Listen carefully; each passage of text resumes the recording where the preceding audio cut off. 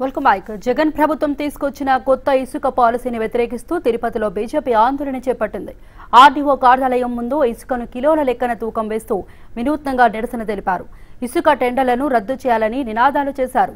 ఎన్నికల కోడ్ అమల్లో ఉందని ఎలాంటి ఆందోళనలు చేయొద్దని పోలీసులు నోటీసులు ఇచ్చారు. దీంతో పోలీసులతో బీజేపీ రాష్ట్ర అధ్యక్షులు సోము వీర్రాజు ఆ పార్టీ స్థానిక నేతలు వాగ్వాదానికి దిగారు. ఇసుక టెండర్లను బినామీ సంస్థకు కట్టబెట్టి సంపద దోచుకోవాలని జగన్ సర్కార్ కుట్ర చేస్తోందని సోము వీర్రాజు ఆరోపించారు.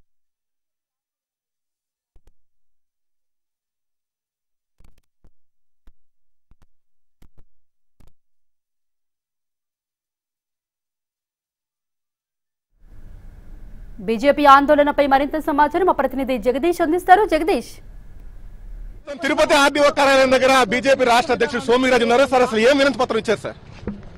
ఏదైతే మేము డిమాండ్ చేస్తున్నాం వెంటనే టెండర్ రద్దు చేయాలి. సామాన్య మానవులకి అందరు కూడా ఇసుక ఉచితంగా ఇవ్వాలి.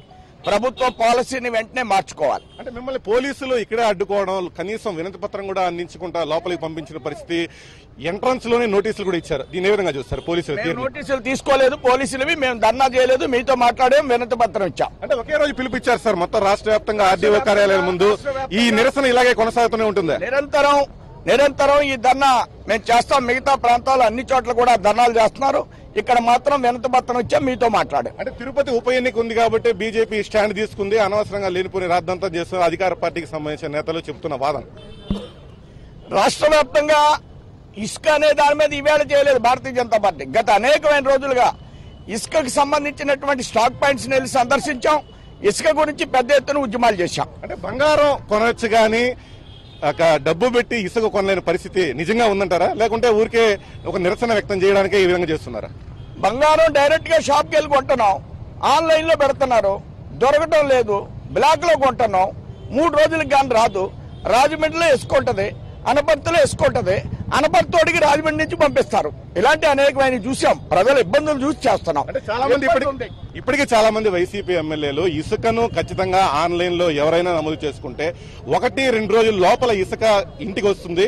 అనవసరంగా దీనిపై రాద్ధాంతం జరుగుతుందని వాదన వినిపించే ప్రయత్నం రెండు రోజులు అది గంటలో ఇసుక రావాలి. భారతీయ జనతా పార్టీ డిమాండ్ మీరు చేత కాపితే దాన్ని వదిలేయండి. మీరు చేత కాపితే వదిలేయండి. గంటలో ఇసుకొచ్చే పరిస్థితి ఉంది. రాష్ట్రంలో ఎక్కడి నుంచి అయినా సరే రెండు మూడు గంటలు ఇసుకొస్తుంది. గతంలో జరిగింది. గతంలో జరిగింది. వీళ్ళకి తెలియక మూడు రోజులు అంటున్నారు. మూడు రోజులు అక్కర్లే.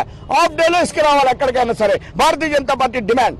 నూతన ఇసుక విధానానికి సంబంధించి టెండర్లు అయితే పిలిచారో ఆ టెండర్లను వెంటనే రద్దు చేయాలన్న డిమాండ్ను ప్రస్తుతం సోము వీరాజు వ్యక్తం చేస్తున్నారు. ఈ ఒక్క రోజే కాదు రాష్ట్ర వ్యాప్తంగా పెద్ద ఎత్తున ఆందోళన చేయడానికి కూడా తాము సిద్ధంగా ఉన్నామని ప్రస్తుతం అయితే బీజేపీ నేతలు స్పష్టం చేస్తున్న నేపథ్యంగా చెప్పుకోవచ్చు. ఒక నిరసన కార్యక్రమాన్ని శాంతియుతంగా చేపట్టేందుకు సోమవీరాజు ఆర్డీఓ కార్యాలయం ముందుకు రాగానే పోలీసులు నోటీసులు ఇవ్వడం జరిగింది. ప్రస్తుతం ఎన్నికల కోడ్ అమల్లో ఉంది కాబట్టి ఎట్టి పరిస్థితుల్లోనూ ఇక్కడ నిరసన వ్యక్తం చేయకూడదని నోటీసులు ఇచ్చిన పరిస్థితిలో సోమవీరాజు పోలీసులు ఇచ్చిన నోటీసులు తీసుకోలేదు.